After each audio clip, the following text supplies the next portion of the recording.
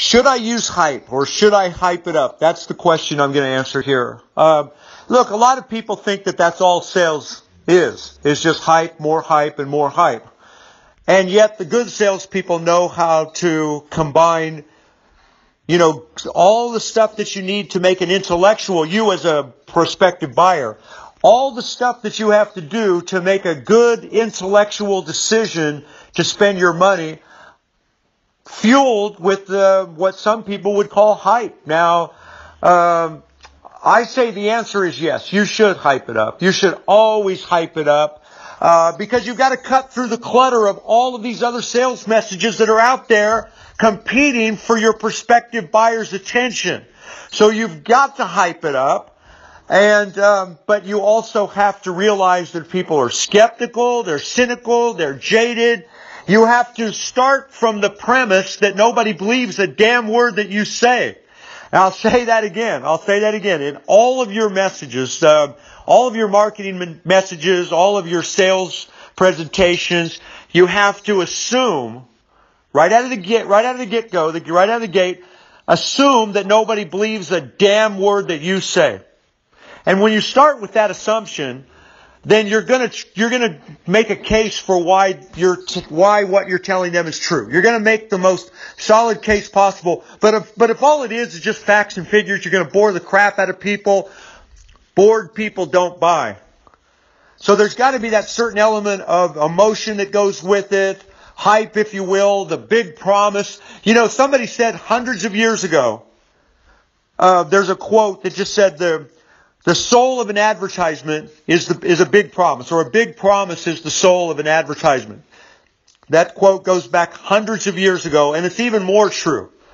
You've got to make big, bold promises, but then you've got to prove to people why those promises uh, really can, why you can, why you can deliver on those promises. Remember, what people want more than anything else is total certainty, but a certain amount of hype is absolutely positively required. Now I will say that in this legal world that we live in, you've got to be so careful. You've got to be so careful to disclaim big, huge promises and, and, uh, especially when you're doing recorded, um, presentations and stuff that are for the masses of people where, um, you know, anybody can listen and all that kind of stuff. You've got to disclaim, disclaim, disclaim uh, from a legal standpoint, legal, moral, and ethical, you've got to disclaim the crap out of all of this, and you've got to let your let your prospective buyers know why you're disclaiming it. You know, these these people are not stupid. They know that we live in a nation of laws. They know that again, they just see that as honesty. When you when you say, now look, I must tell you, I'm, you know, so you're making a bunch of big bold promises, and then you say, look, I can't promise or guarantee, you know, from a moral, ethical standpoint, uh, then you go into your disclaimer part of it. But man, if you don't hype it up, if you think that somehow you're going to go out there and make a ton of sales and separate yourself from all the other salespeople by not hyping it up, then you're losing a whole lot of money that could and should be yours. So you gotta, you know, you gotta make those big, bold promises and that re- does require a little hype. You know, people want the dream to be real. They buy for emotional reasons. And the, and the bigger the promise, the more excitement that goes behind that. So, look, hype is a subjective word anyway. What, what one person calls hype, another person won't call hype at all. So, you know, just like beauty is in the eye of the beholder or whatever, it's just, it's a little bit subjective, but yeah, look at the people, look at the marketers that, that are making the most money, the marketers, salespeople that are making the most money. You'll see that there is a certain amount of hype that goes into everything that they do. They're, they're, they're painting the picture. They're making that dream real. Uh, they're getting people fired up. They're getting people excited. There's nothing that does that like, like a big, bold promise and, and some stories that get people so excited and, and, and, and unleashing that enthusiasm.